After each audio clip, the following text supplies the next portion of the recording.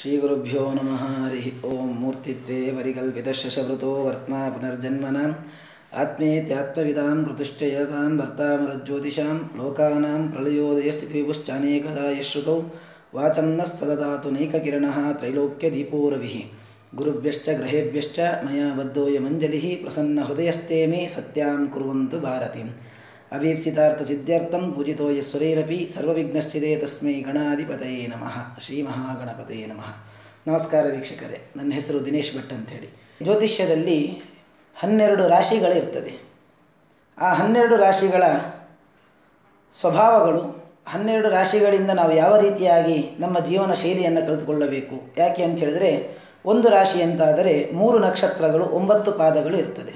ರಾಶಿಯ ಭವಿಷ್ಯ ಹೇಳುವುದಾದರೆ ಒಂದು ಸಣ್ಣ ಮಟ್ಟಿಗೆ ಈ ರೀತಿಯಾಗಿ ಆಗಬಹುದು ಎಂಬುದಾಗಿ ಒಂದು ನಾವು ತಿಳಿಸಿಕೊಡ್ತೇವೆ. ಅದು ಎಲ್ಲರಿಗೂ ಆಗಲೇಬೇಕು ಅಂತಿಲ್ಲ, ಕೆಲವ್ರಿಗೆ ಆಗ್ತದೆ, ಕೆಲವ್ರಿಗೆ ಆಗೋದಿಲ್ಲ. ಹಾಗಾಗಿ ಎಷ್ಟೋ ಜನ ಜ್ಯೋತಿಷ್ಯವನ್ನು ನಂಬುವುದನ್ನು ಬಿಟ್ಟಿದ್ದಾರೆ. ಎಲ್ಲದಕ್ಕೂ ಕೂಡ ದೇವತಾನುಗ್ರಹ ಬೇಕು, ಹಾಗೆ ವಿಶ್ವಾಸ ಬೇಕು.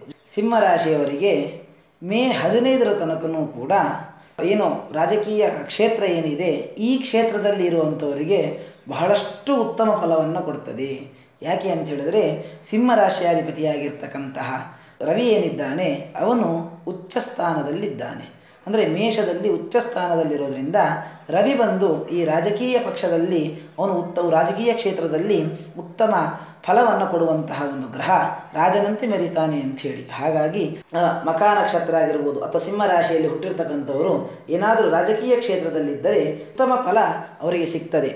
ಅಂದರೆ ರಾಜಕೀಯ ಕ್ಷೇತ್ರದಲ್ಲಿ ಉತ್ತಮ ಫಲವನ್ನು ಅವರು ಪಡೆಯಬಹುದು. ತದಾದ ನಂತರದಲ್ಲಿ ಈ ಸಾಫ್ಟ್ವೇರ್ ಉದ್ಯೋಗದಲ್ಲಿ ಯಾರಾದರೂ ಕೆಲಸವನ್ನು ಮಾಡ್ತಾ, ಅಯ್ಯೋ ನಮಗೆ ಈ ಕೆಲಸ ಬೇಡ, ನಾವು ಬೇರೆ ಕೆಲಸಕ್ಕೆ ಹೋಗಬೇಕು ಅಂತ ಯಾರಾದರೂ ಪ್ರಯತ್ನ ಮಾಡ್ತಾ ಇದ್ದರೆ, ಈ ಮೇ ತಿಂಗಳು ಮುಗಿಯೋದ್ರೊಳಗೆ ಮತ್ತೊಂದು ಕೆಲಸಕ್ಕೆ ನೀವು ಅಪ್ಲೈ ಮಾಡ್ಬೋದು ಇದರಿಂದ ಉತ್ತಮ ಫಲ ಸಿಗ್ತದೆ. ರವಿ ಉಚ್ಚ ಸ್ಥಾನದಲ್ಲಿದ್ದಾಗ ಒಳ್ಳೆಯ ಫಲವನ್ನು ಕೊಡ್ತಾನೆ. ಅಥವಾ ಸಣ್ಣ ಮಕ್ಕಳಿದ್ದರೆ ಅವರ ತಂದೆಗೆ ಆ ಮಕ್ಕಳ ನಕ್ಷತ್ರದಿಂದ ಒಳ್ಳೆಯದು ಆಗುವಂತಹ ಸಾಧ್ಯತೆ ಈ ಮೇ ತಿಂಗಳಿನಲ್ಲಿ ಬಹಳಷ್ಟು ನಡೀತದೆ. ರವಿ ಉಚ್ಚಸ್ಥಾನ ಮೇ ಹದಿನೈದನೇ ತಾರೀಕು ತನಕ ಇರ್ತದೆ. ತದಾದ ನಂತರದಲ್ಲಿ ರವಿ ವೃಷಭ ರಾಶಿಗೆ ಹೋಗ್ತಾನೆ. ಅದಾದ ಮೇಲೆ ನೀವು ಪ್ರಯತ್ನ ಪಟ್ಟರೆ ಫಲ ಸಿಗೋದು ಬಹಳ ಕಷ್ಟ. ರವಿಗೆ ಅತ್ಯಂತ ಸೂರ್ಯ ನಮಸ್ಕಾರಾದಿಗಳನ್ನು ಹಾಗೆ ಎಕ್ಕೆ ಹೂವಿನ ಹಾರವನ್ನು ನೀವು ಇಷ್ಟಪಡುವಂತಹ ದೇವರಿಗೆ, ನೀವು ನಂಬಿರುವಂತಹ ದೇವರಿಗೆ ಎಕ್ಕೆ ಹೂವನ್ನು ಹಾಕುವ ಮೂಲಕ ನಿಮ್ಮ ಎಲ್ಲ ಇಷ್ಟಾರ್ಥಗಳನ್ನು ಕೂಡ ಈ ಮಗ ಸಿಂಹರಾಶಿಯವರು ಪಡೆಯಬಹುದು. ಬಿ ಹ್ಯಾಪಿ ಚಾನಲ್ನಲ್ಲಿ ನಾನು ಇನ್ನು ಮುಂದೆ ನಿಮ್ಮ ಮುಂದೆ ಬರ್ತಾ ಇದ್ದೇನೆ. ಎಲ್ಲರೂ ಕೂಡ ಸಬ್ಸ್ಕ್ರೈಬ್ ಮಾಡಿ ನಿಮ್ಮ ನಿಮ್ಮ ಇಷ್ಟಾರ್ಥಗಳನ್ನು ಪಡೀಲಿಕ್ಕೆ ನಿಮ್ಮ ಭವಿಷ್ಯವನ್ನು ನೀವು ತಿಳಿದುಕೊಳ್ಳೋದಕ್ಕೆ, ನಿಮ್ಮ ಸಂಕಷ್ಟಗಳನ್ನು ಪರಿಹಾರ ಮಾಡಿಕೊಳ್ಳೋದಕ್ಕೆ ಹಾಗೆ ಸಂಪೂರ್ಣ ಗಣಪತಿಯ ಅನುಗ್ರಹ ಸಿಗಲಿಕ್ಕೆ ಎಲ್ಲರೂ ಬಿ ಹ್ಯಾಪಿ ಚಾನಲ್ನ ನೋಡ್ತಾ ಇರಿ. ಸಬ್ಸ್ಕ್ರೈಬ್ ಮಾಡಿ ಅಂತ ಹೇಳ್ತಾ ಕಾರ್ಯಕ್ರಮವನ್ನು ಮುಗಿಸ್ತಾ ಇದ್ದೇನೆ. ಶ್ರೀಕೃಷ್ಣ ಅರ್ಪಣ